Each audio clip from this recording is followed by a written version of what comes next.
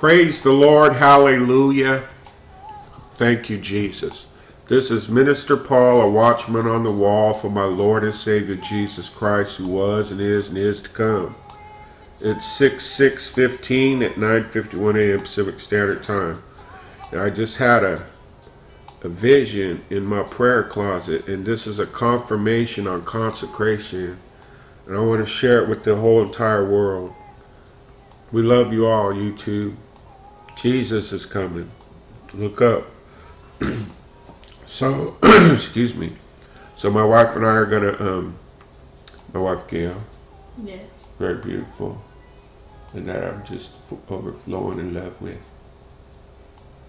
It just can't take my eyes off of. Alright. And it would just do anything for. Mm-hmm. And we could go wherever you want today. We're going to open up in prayer. Okay, hold my hand. Our, Father, who art in heaven, hallowed be thy name. Thy kingdom come, thy will be done, on earth as it is in heaven. Give us this day our daily bread. Forgive us of our trespasses, as we are forgiven those who trespass against us. And lead us not into temptation, but deliver us from evil. For thine is the kingdom and the power and the glory forever. Amen. Thank you very much, my beautiful, supportive wife. Okay, so now I was, I was, I was, I did not expect this, and let me say this real quickly. Uh, I'm not worthy of seeing these things. I want you to know it's not about being worthy. It's not by works that, like, I went and did good deeds, so God is showing me stuff. It doesn't have anything to do with that. It's about mercy and grace. So, uh, people ask me why. I, I don't know why. I honestly don't know why. So, I'm, I'm in my prayer closet where I've seen many amazing things from the Lord. And I heard the Lord speak so clear, so clear, so clear. He said, Be ye holy, for I am holy. And I lifted up my hands, just, you know, consecrating myself. I'm like, Lord, I consecrate myself. I separate myself unto you. I'm listening, Lord Jesus. It's all about you. I love you, Lord. I feel it again right now. And he said it a second time. Be ye holy, like I am holy. And it seems like I was just in his presence forever, but really was only two or three minutes. And I looked up and I saw this bright red, uh, where we at here? Dang it, my bad. I'm so excited. My hand is like literally trembling.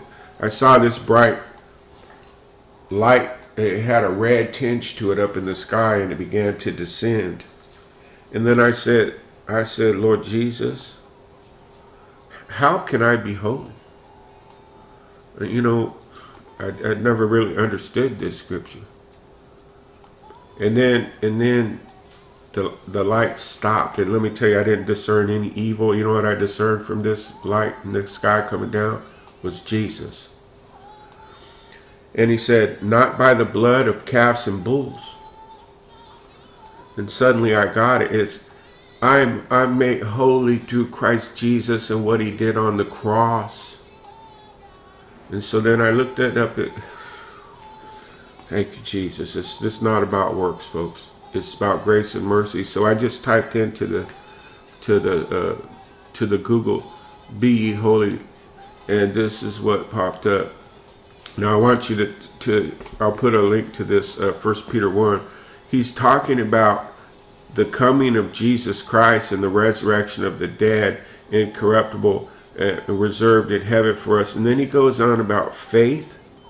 Nowhere in here we find works. He talks about uh, mercy and grace and what Christ did on the cross for us up up until that point.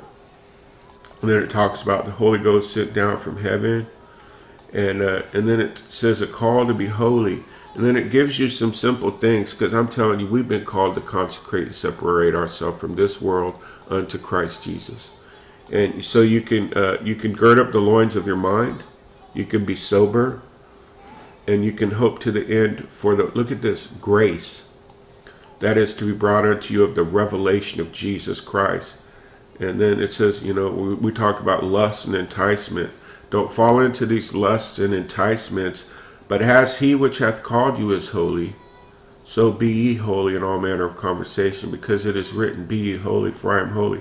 And so, and I'm put a link to this whole thing. I'm like, remember Jesus? He said, "His our righteousness is from Him." And so I, I looked up. Well, anytime it says where it is written, I had to find out. Well, where is it written? And it, it's in Leviticus 11, 44 it says, For I am the Lord your God, ye shall therefore sanctify yourselves, and ye shall be holy, for I am holy. See, it really was written. And then it talks about not defiling yourself with, with animals. So, and see, this is Old Covenant, New Covenant, and one of them does, one translation here talks about uh, consecrating yourselves. So I want to look. I just wanted to share this with everybody. We we are called to consecrate ourselves and separate ourselves, and Jesus is coming. I'm going to look up the word sanctify. I, and Romans 8 is uh, popping up in, in my uh, in my spirit even as I type this. Look at this. Get some volume on this. Hold on. So the Holy Spirit is flowing in this place today. Sanctify, sanctify, sanctify. It says, set apart as or declare holy, consecrate. Let's look up uh, consecrate, set apart. This is what God is uh,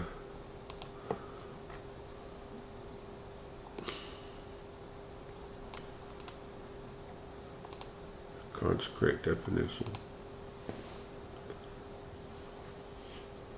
Make or declare something typically a church sacred. Dedicate formally in Christian belief to make bread or wine into the body of blood of Christ ordained. So in other words, what I hear the Holy Spirit saying is, is set apart, set apart your life for Jesus Christ and by the washing of the water of the word, by his word and by through prayer and fasting, you're going to consecrate your own temple unto Christ Jesus. And when you do this, you will be holy and you need to walk in holiness and don't ever look back because Jesus is coming. Y'all have a wonderful weekend. I want to thank everybody. We love you all. God bless you all.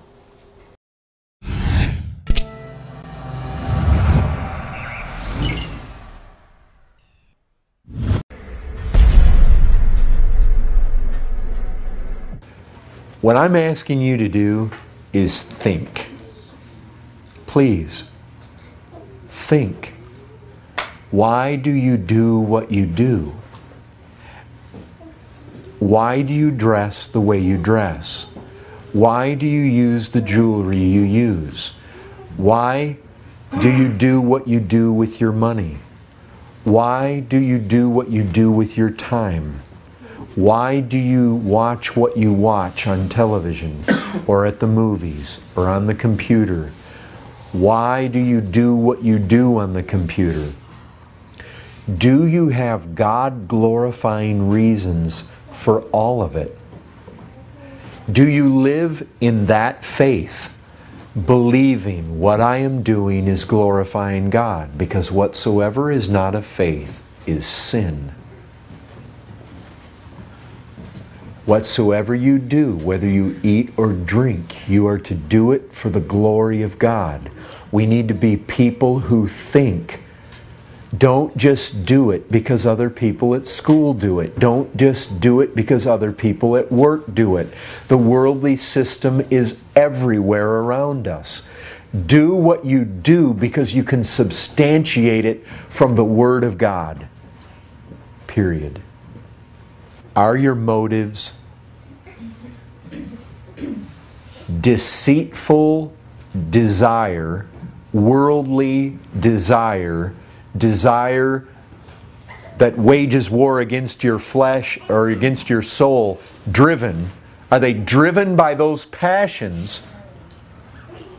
Or is it driven by a desire to please God? That's what we have to ask ourselves. What is the motive?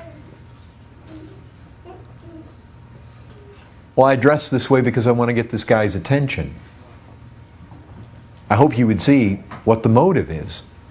When the Bible says, if you want to get a guy's attention, the kind of guy that guy's attention that you probably ought to be trying to get, you should be working on a meek and quiet spirit, ladies, knowing the scriptures. That's what 1 Peter 3 says.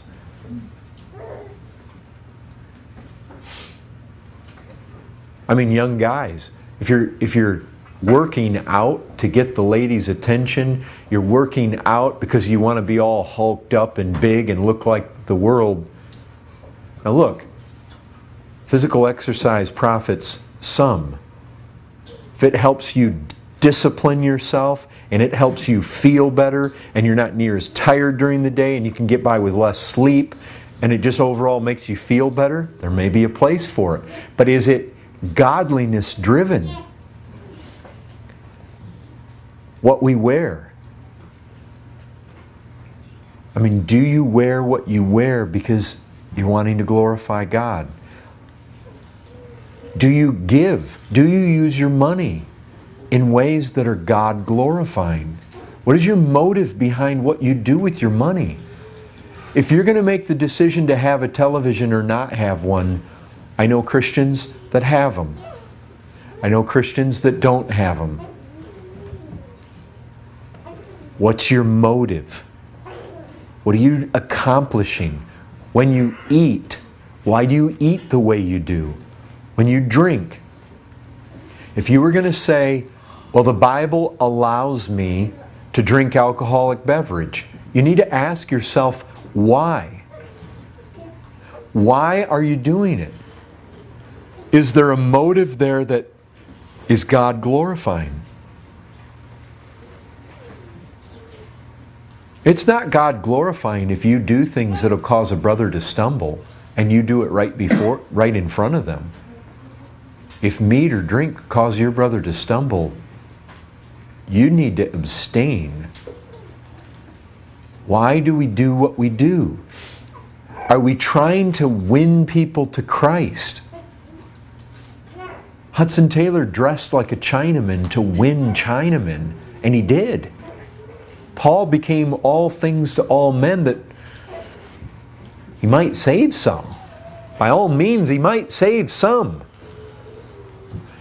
You see, when you're driven by love, when you're driven by a desire to save people, when you're driven by a desire to grow, when you're driven by a desire to become more godly, when you're driven by a desire to become more meek, more Bible knowledgeable, when you're driven by a desire not to make my brothers and sisters stumble, that there's see see the motivation versus when you just want pleasure. And so you're going to do what you want to do because you want fun. You're going to do what you want to do because you want to enjoy. You're going to do what you want to do because you want to satisfy these desires. That's dangerous ground. Listen, they wage war against the soul, and people lose their soul in this fight all the time.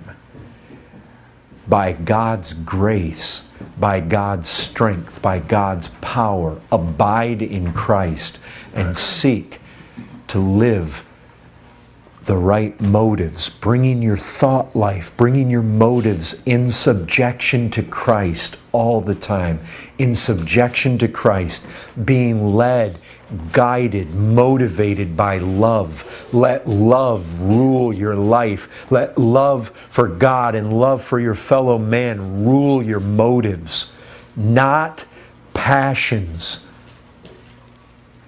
but love. God help us.